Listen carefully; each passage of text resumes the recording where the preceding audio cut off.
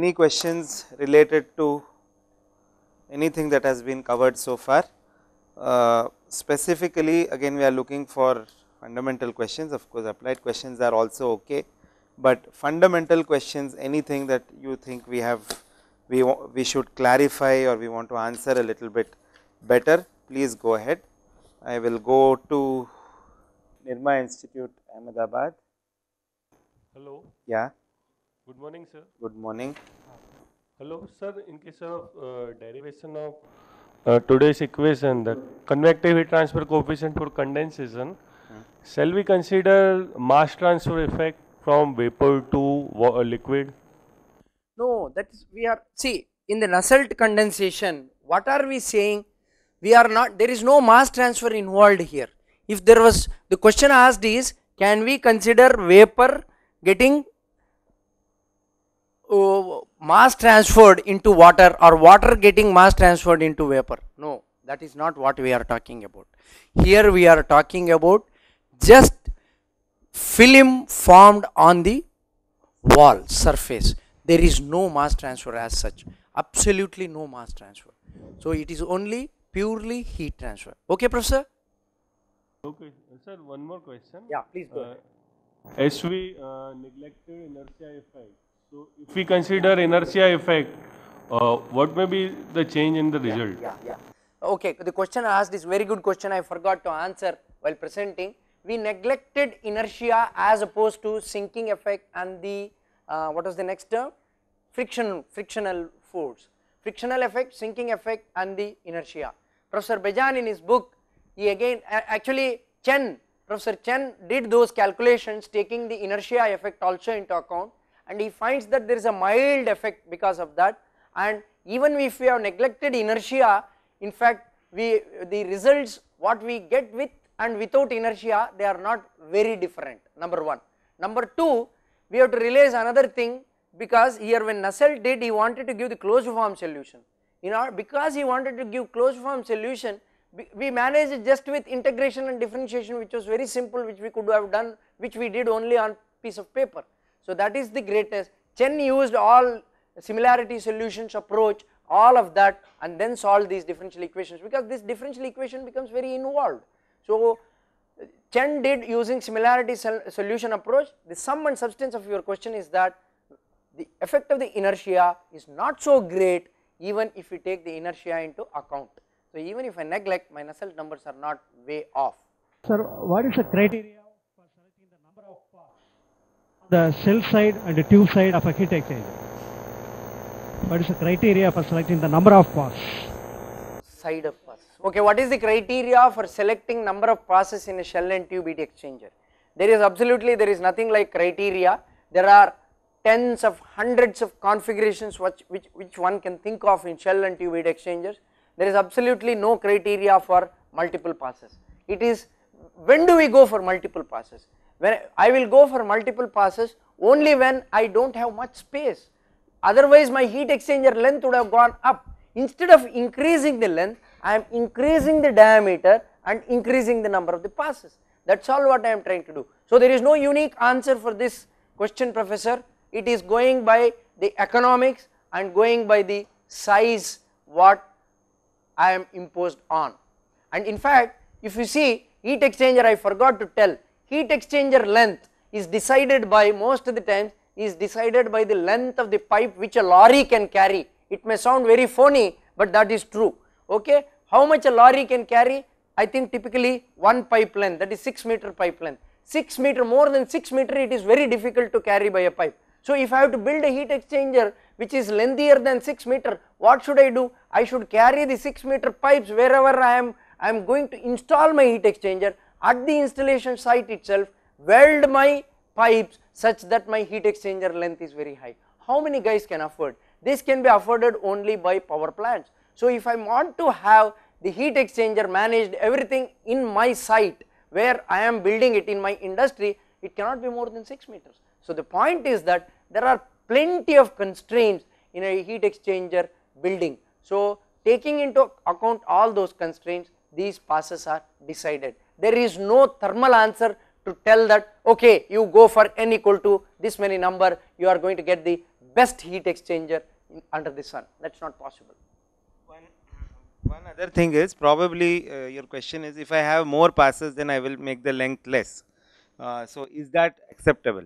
Probably that is not acceptable many times from other considerations like uh, pressure drop and heat transfer characteristic. See if I have same diameter pipe I have drawn here and the pitch is larger. So, I have a fewer number of passes in a given shell versus where the pitches become very small then uh, subsequent uh, fluid, the, the we have to remember fluid is flowing on the outside, the shell side fluid is flowing on the outside of the tube. So, there has to be some space for the fluid to flow, some heat heat interaction has to happen. If I if I keep uh, uh, Uh, if I stack it like you know a stack of pencils, if I hold it in my hand, there is no space for any flow or heat transfer to occur. So, that also, so every time you design, you calculate the shell side heat transfer coefficient, tube side heat transfer coefficient, shell side pressure drop, tube side pressure drop and then you decide.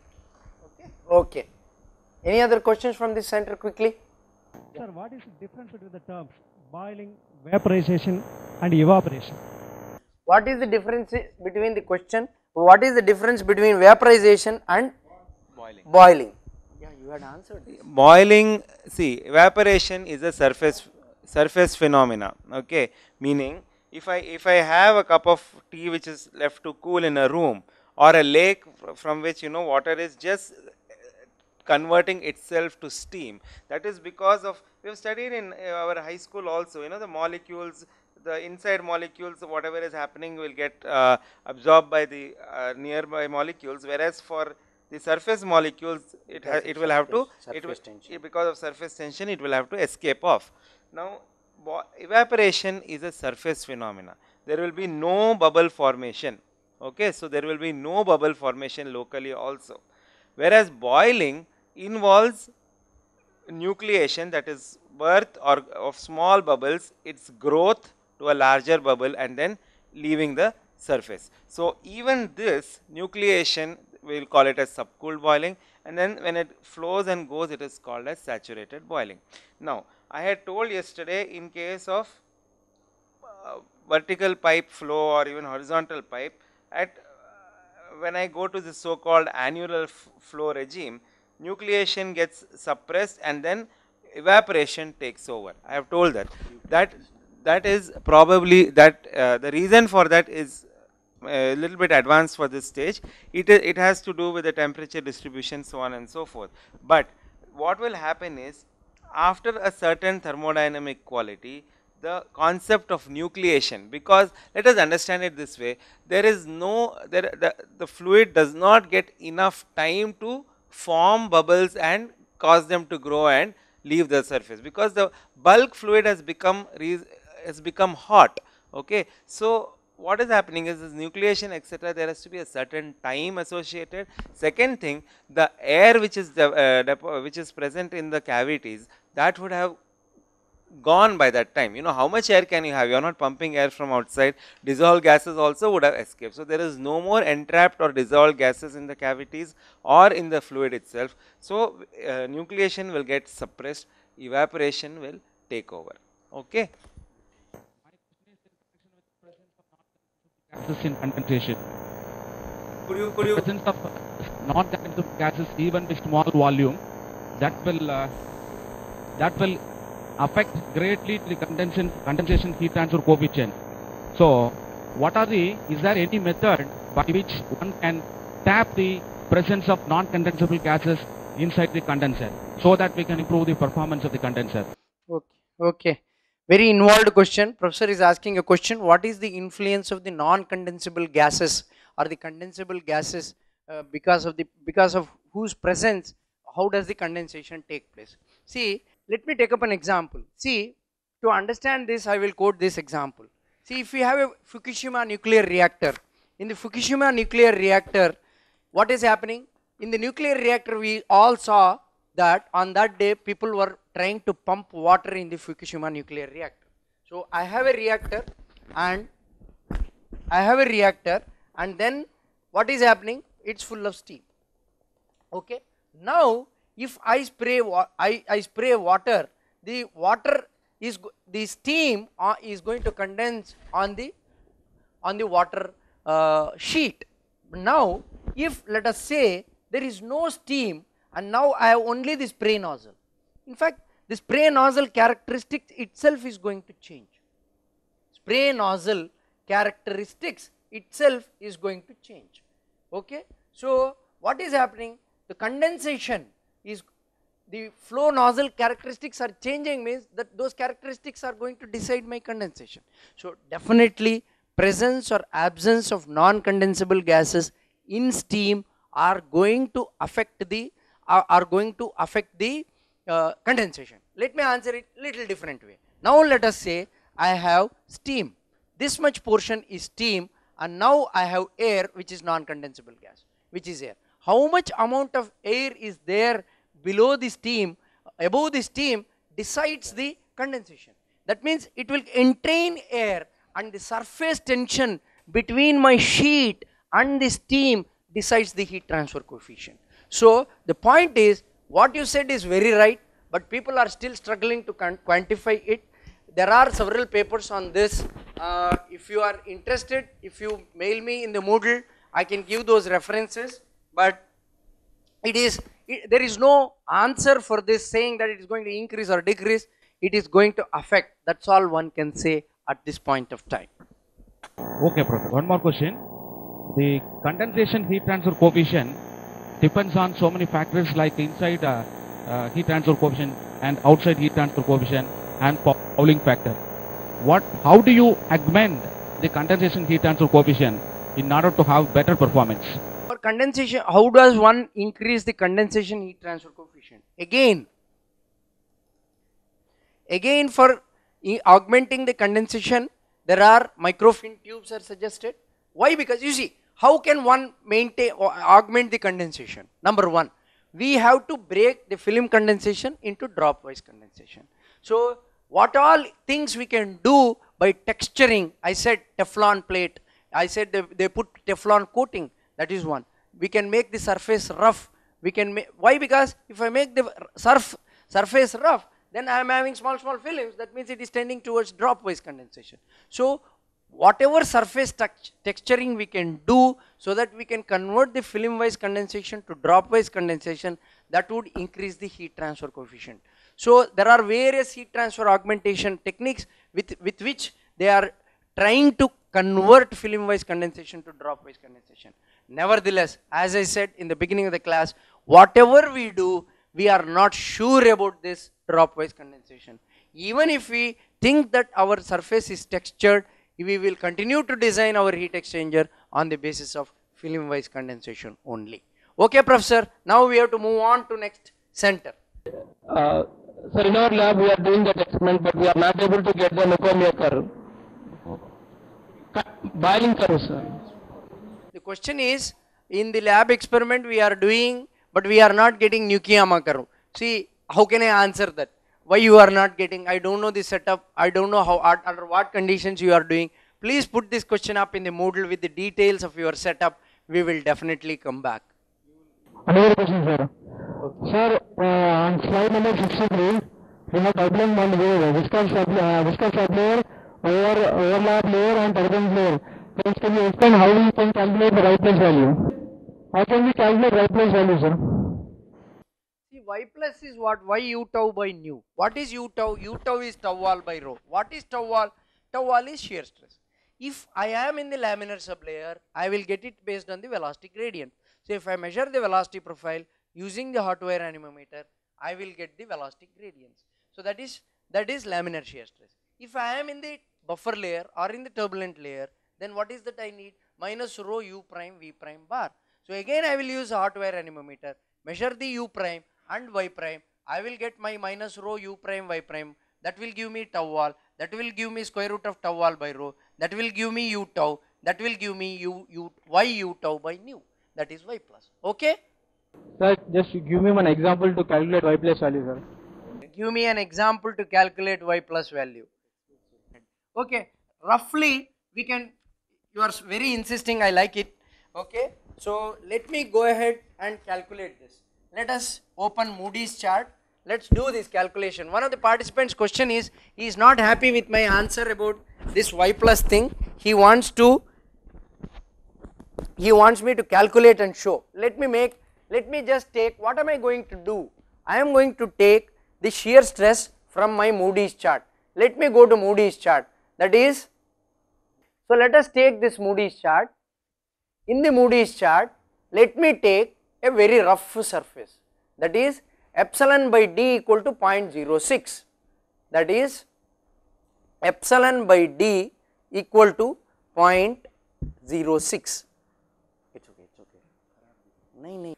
Point yeah, yeah 0.06 no for me i cannot for a minute. Okay 0.06 now y plus what is what is the friction factor for epsilon by d 0.06 I am getting a friction factor of 0.07 okay? That is friction factor equal to 0.07 okay? Now what is tau wall tau wall equal to f equal to 4 cf into tau wall upon or how can I get this? Yeah.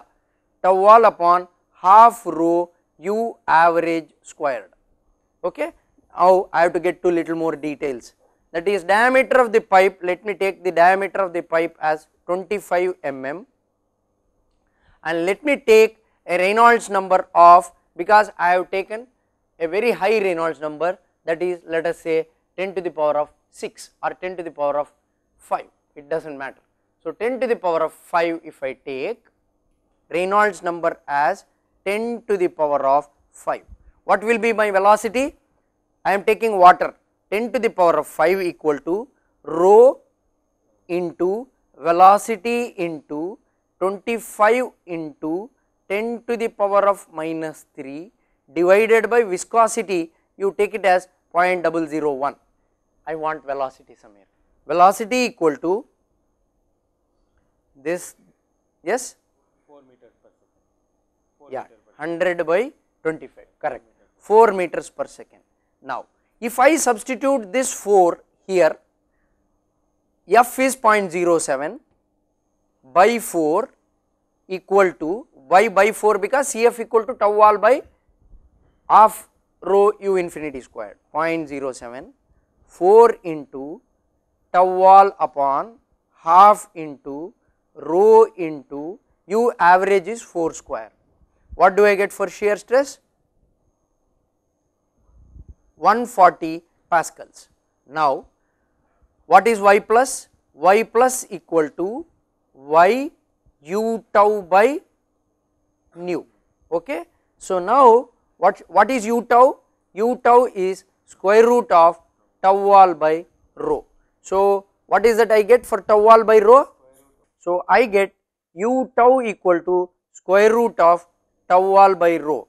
What is that? 0.3742 okay. Let me take this as y plus equal to square root of y u tau by nu. Okay. So now what is that I am getting? y u tau by nu. Y is let me take this y as let me take no not I should calculate y sorry. Y plus let me take it as for breaking the laminar sublayer 5 okay? 5 equal to y into u tau is 0.37 y into y into 0.5 equal to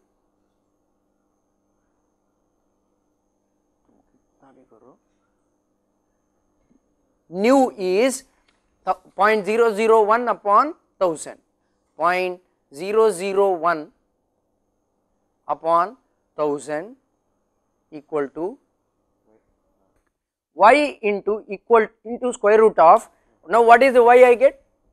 Ah, I get a y of 6.68 into y equal to 6.68 into 10 to the power of minus 5 meters. That means how much mm into 1000 multiply by 1000 point 0 0 0.0668 that means 0.07 mm should be the thickness. So what was my epsilon by d? In my case what I took? Epsilon by d is 0.06 epsilon equal to 0.06 into 25 mm. What is that I get? 25 into 0.6 1.5 mm. This example states that this exam this example tells that I have broken the laminar sublayer. That is all I am telling. Is that okay? Through this problem you have but this is a rough estimate this is a rough estimate this gives you the feel that this is how one can break the laminar sublayer Thank you, sir. okay great YC college Nagpur Good morning, sir. My question is, what is the significance of boiling number? Okay, boiling num- what is the significance of boiling number? Boiling number equal to Q double dash upon GHSF. Let us open Rohsenow's uh, notes. We will open Rohsenow's notes. Just give us a minute. Yeah. So, what is boiling number? You see here.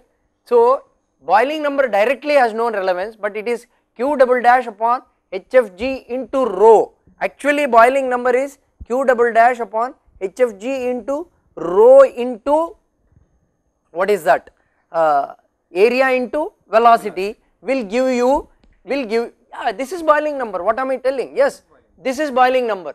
Q upon GHSF that is Q double dash upon GHSF is the yeah Q it is like this. Heat flux upon okay boiling number is let me define. Boiling number is q double dash upon mass flow rate per unit area into hsf what is mass flow rate into per unit area?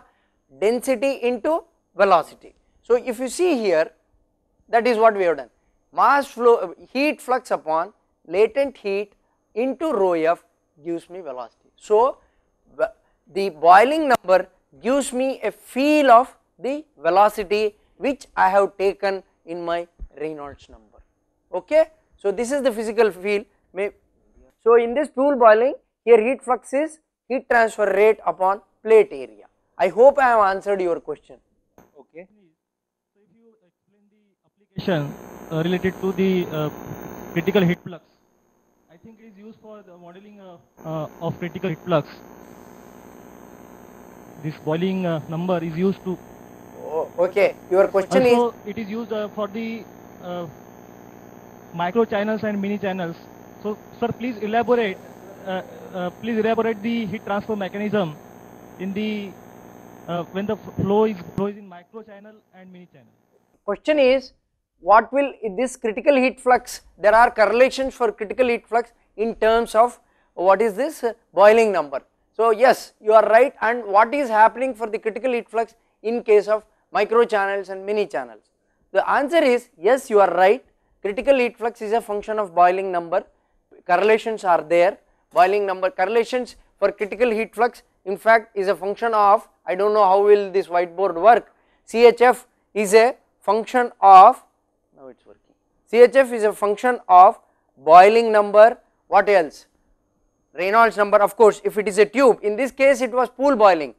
In micro channel it will be function of Reynolds number Prandtl number and Jakob number that is the amount of the subcooling I have introduced to you Cp delta T upon HFG that is Jakob number and then density ratio rho L by rho V and then viscosity viscosity ratio mu L by mu V okay and L by D that is the length to diameter ratio. These are the various non-dimensional parameters one can think of for CHF okay. CHF is just not dependent on boiling number alone where in this case it is q double dash upon mass flux that is mass flow rate per unit area into HFG it is just not that in addition these are all the parameters.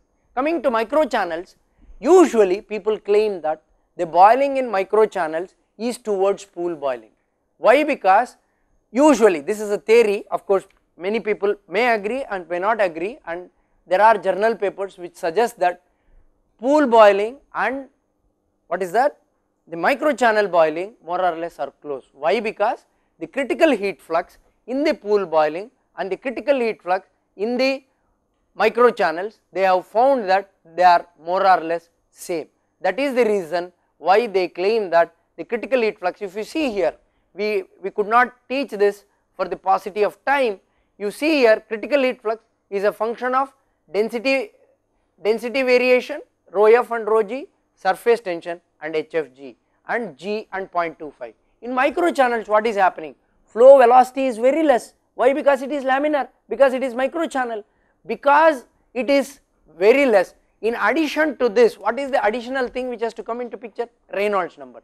Because the velocity is very less, people claim or people have found that in case of critical heat flux, in case of pool boiling and critical heat flux in case of micro channels, more or less they are same, more or less, more or less I am using in a big font in a bolder sense. So, but then if you still sit down and nitpick and go ahead and do experiments, you may find 25, 30, 40, 50 percent of variation. Okay?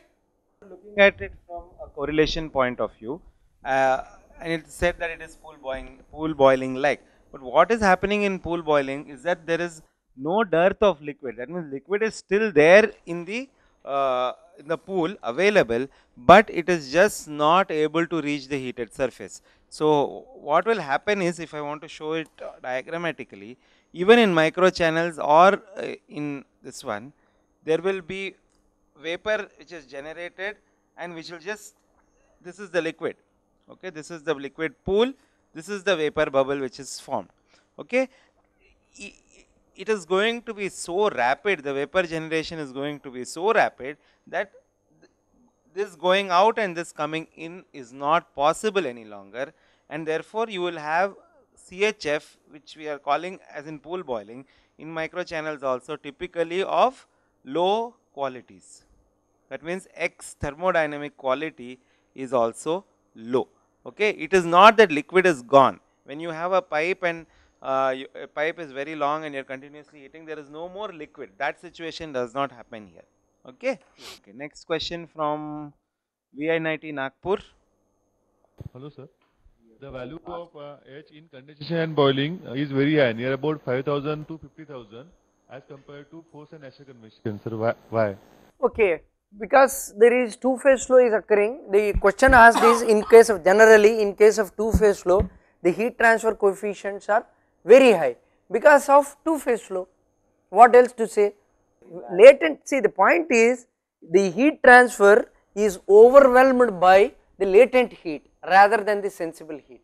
So that is the reason the heat transfer coefficient for two phase flow is significantly higher compared to that of the single phase. Okay? So my next question is uh, the value of H equal to in uh, condensation uh, 0.943. The relation is 0.943 plus equation. Uh, in most of the book it is given 20% extra. That is uh, 9 0.943 into 20%. That is the value comes H equal to 1.13 into this relation. No, no. And uh, No, no. HFG is Okay, uh, you have taken uh, liquid subcooling. Yeah, So th- that that's effect. uh, see I think you are right 0.943 is there and few textbooks takes 1.13. What perhaps they are doing is they are not taking HFG prime the way we have taken HFG prime. HFG equal to HFG plus 0.68 into Cp into delta T we have taken instead of taking that there they have embedded that there outside and put that as 1.11. That is all the difference otherwise both are same. Okay Professor? Any other questions from your center? Okay. Yeah, we'll. No, we have to go to VIT Pune and I have to tell something about VIT Pune. Yeah, please go ahead and explain. Please go ahead and explain how did you do this experiment, chapati experiment. I have performed the experiment day before yesterday. Okay. The same volume of wheat dough was taken. The dough was uniform. Both chapatis were rolled. Both chapatis were rolled to the same diameter. Both were roasted in the microwave oven to the same temperature that is around 78 degrees centigrade. One chapati was wrapped in aluminium foil and one was wrapped in brown paper. Average temperature of chapati was measured every 5 minutes. Up to 20 minutes, temperature of chapati in aluminium foil was higher and that in brown paper was lower. Now, now my question After 20 minutes, both temperatures were around. Of course, this pre- this was the preliminary experiment and no repetition was done. One first thing is, It can be said that for around 20 minutes, yes ma'am, I will around take, 20 minutes hotness uh, will be maintained and after it was same. okay ma'am, great. I first want to congratulate you, my salutations to you that you have done this experiment in such a quick manner, taking the suggestion so seriously. First my salutations to you for that. Now coming to the technical component, it's a really good experiment. I have one question to you.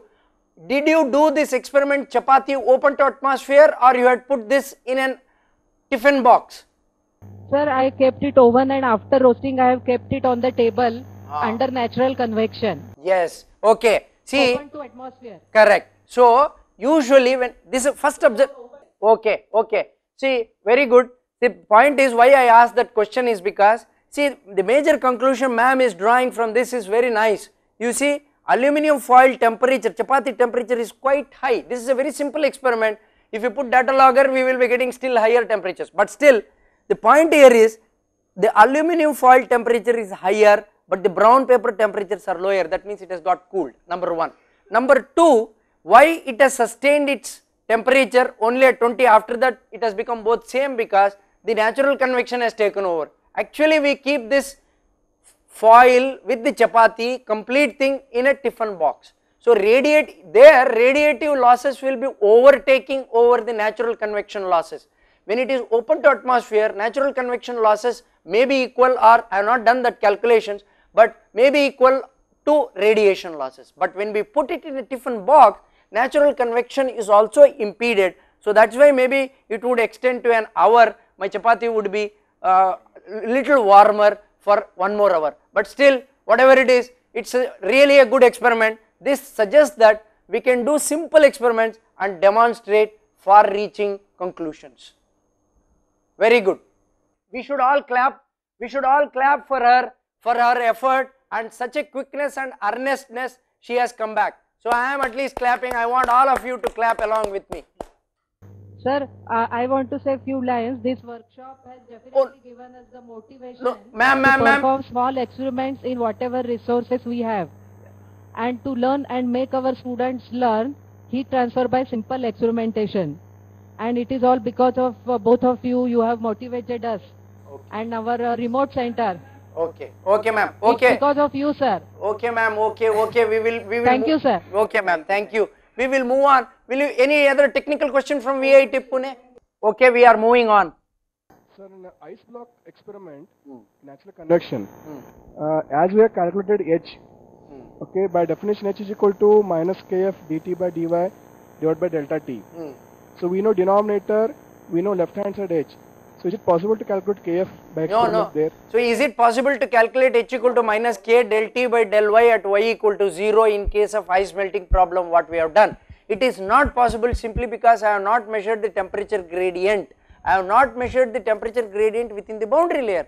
So how can I calculate minus del T by del Y? What del T by del Y I have is T in 25 minus 0. But what am I looking for? I am looking for the slope at Y equal to 0 that slope at y equal to 0 I will be getting only when I get the temperature measured within the boundary layer. That is what Professor Arun was plotting all the time that he was plotting that I need to get the profile and in the profile I need to get the temperature gradient.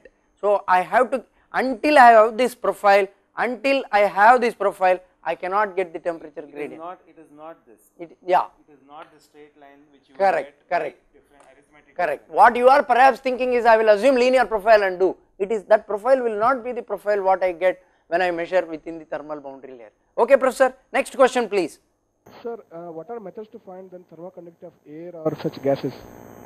Air or gases? In fact, uh, okay, you please put up this in the Moodle. I will answer this question because there are various methods. It becomes very difficult to explain all of them. Please put this up in the Moodle. I will get back. Next question, please.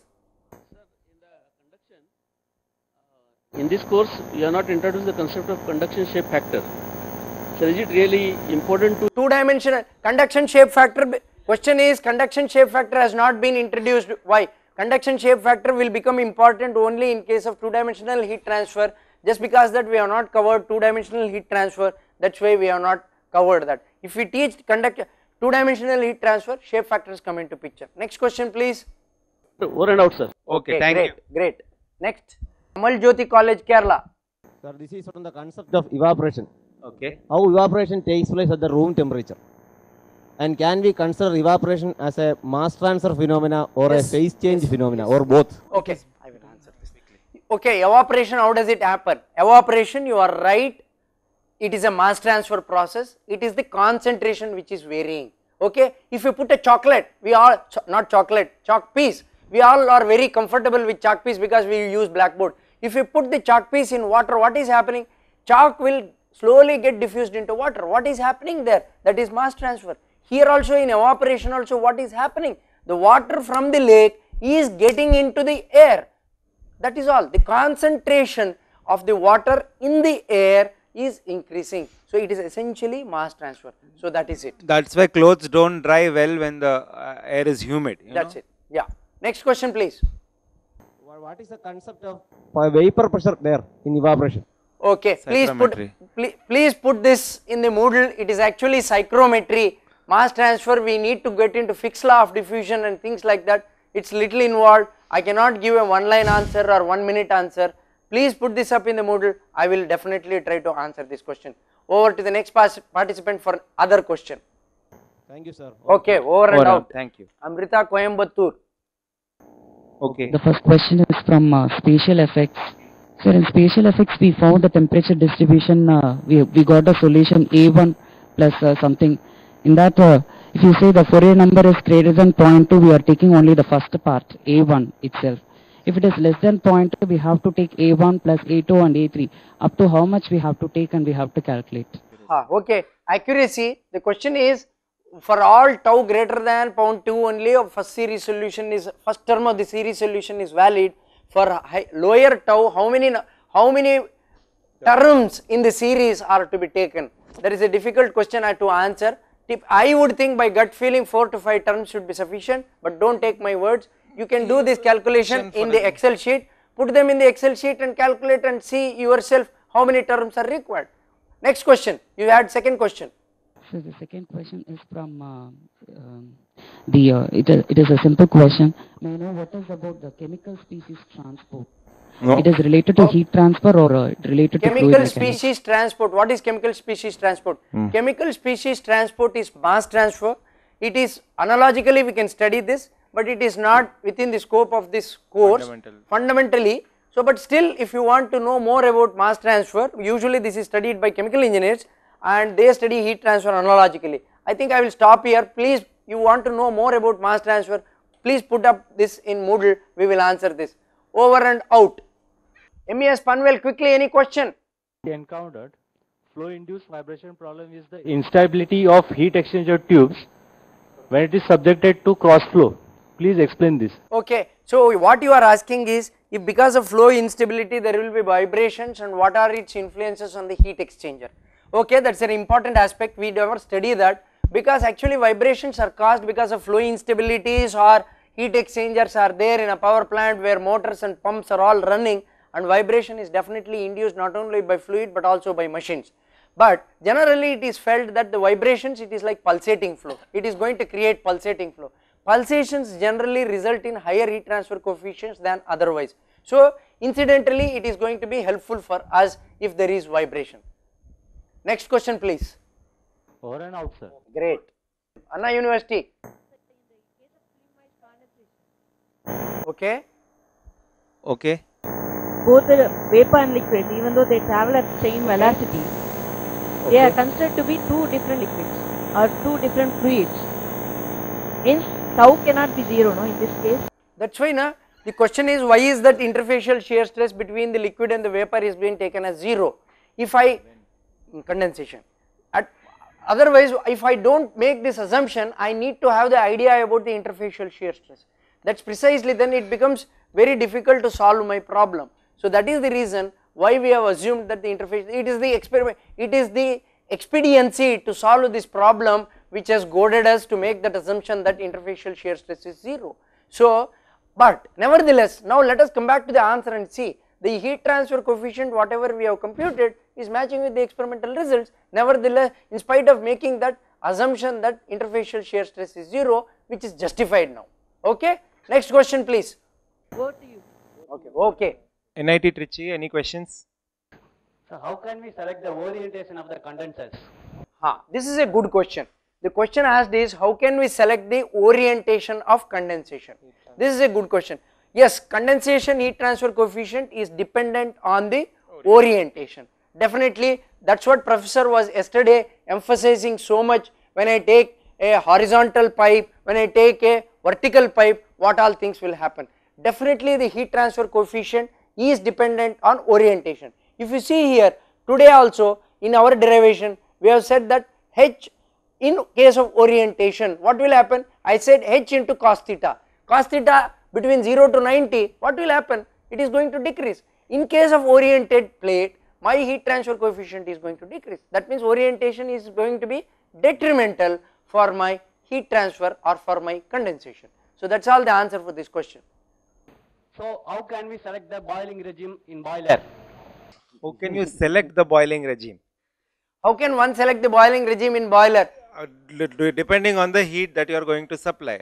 Nucleate boiling regime? How if you are if you if you have a little bit of water in a vessel and you keep the gas on very high, it is going to boil very rapidly. Okay, you can go to film boiling very quickly or CHF very quickly. So same thing you, you, you have to control the heat accordingly to uh, have nucleate boiling that's it and ensure that there is mass flow of liquid all the time. Okay, over and out from this institute. VJTI Mumbai. Yes, sir. This question is regarding uh, uh, compress- incompressible flow. At the time of uh, teaching about incompressible flow, you said that uh, shear deformations cannot be included in incompressible flow. I have a feeling that when incompressible flow takes place, shear uh, deformation may not lead to change in volume. Therefore, please clarify on this point. See, it is just that, see, what is that? Is that in energy equation you are telling or in momentum equation you are telling? Sir, it is about the momentum equation. Okay, see, I didn't say that shear deformations will not take place in incompressible flow. Shear deformation, angular deformation, rotation, linear translation, linear deformation, translation, all will occur in case of both compressible and incompressible flows. I did not say so, I don't know in what context you are uh, quoting me, but the point is whether it is incompressible or compressible, the fluid particle is going to undergo all of these four linear transfer, what is that? Linear, linear deformation, angular deformation, rotation and translation. There is nothing specific with compressible and incompressible flow. Okay, sir. I have another question. Uh, in Bejan's experiment, uh, uh, we have always shown the boundary layer from bottom to top. Is it going to be from top to bottom? No, no. Boundary layer in case of Bejan's experiment has to be from bottom to top because it is natural convection boundary layer. There is nothing like from top to bottom. Condensation is for top to bottom, no confusion. Con here we are not confusing between condensation and natural convection. This is natural convection, so boundary layer has to be from bottom to top. Next. The, uh, please uh, let me know uh, the logic behind the assumption that uh, while solving a problem we treated a furnace at two, uh, 2000 degrees centigrade as a black body. No, we didn't take it as a black body, we took the emissive power.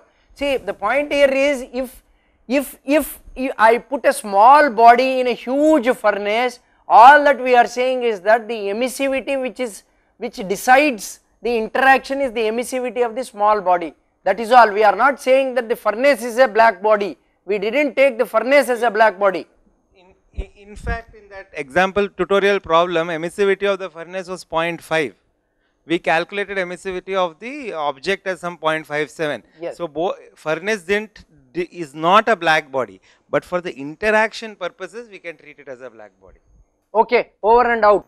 Sir, uh, in case of condensation, whether this flow mass flow rate of condensate in vertical plate has to be considered or to be neglected. No, we cannot neglect it. Mass flow rate is there. No, in Reynolds number it is coming. So we are indeed considering over and out. Good morning, sir. Yeah, yeah. My question is the design of shell and multi-tube pass oil, multi-tube pass heat exchanger is carried by TEMA standards. Is the both the uh, TEMA standards and uh, Bell Delaware method is same? I, I don't know what is demo standard. TEMA TEMA. TEMA standard. Oh yeah. Okay, okay. See, question is, is TEMA standard same as Bell Delaware method in the design of the shell and tube heat exchanger? Yes, they are same. TEMA has adopted Bell Delaware as the as its standard. It is right. Next question, please. Next question is, in condensation is always uh, is always analyzed with respect to vertical plate. If we if we consider horizontal plate, how it will be laminar condensation over a horizontal plate? No problem. See, question is, we always take na- laminar condensation only for vertical plate. Why don't we take horizontal plate? Why? Why do you say that I have put a horizontal cylinder in my figure? Whatever analysis we have done today is valid even for the horizontal. So it is, is it not natural convection not taking place in a horizontal plate? It is taking place. So it is okay even in horizontal plate it will condensation will be taking place but it will not be as effective as it is going to be in the yeah professor is drawing for us. So for horizontal cylinder also condensation is going to take place. It is going to be something like this. Okay next question please. If we consider the horizontal plate condensation, the condensation uh, effectiveness of the condensation is less or more, sir? It will be less compared to that of the vertical plate. Okay over and out. MK triple S Pune, any questions? MK triple S Pune any questions please? Yes, yes. Uh, we talk about two bodies, body A and B, both at the same temperature, Hmm. and consider radiation. Hmm. We're talking about electromagnetic waves between them. Hmm. Uh, would there be considerations of interference between these waves? The wave, any two waves can interact, right? Yes, yes. Question is if there are two hot bodies which are sitting at two different temperatures, which which is going to have electromagnetic waves. Yes, electromagnetic waves are going to interact.